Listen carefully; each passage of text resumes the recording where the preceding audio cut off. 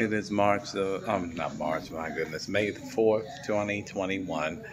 Just here for a quick visit today. It's about to rain outside, but I wanted you to see the progress of what's going on here.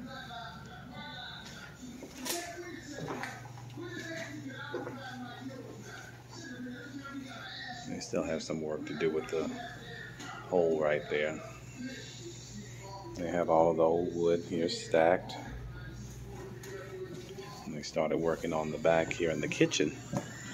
And he said there were four or five levels of flooring on top of the subflooring here, which I'm refinishing.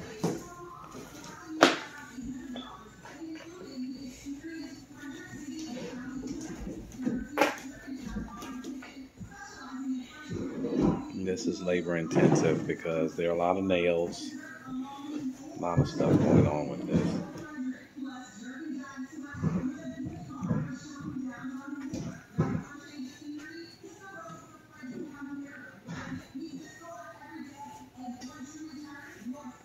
This is some of the damages you see here.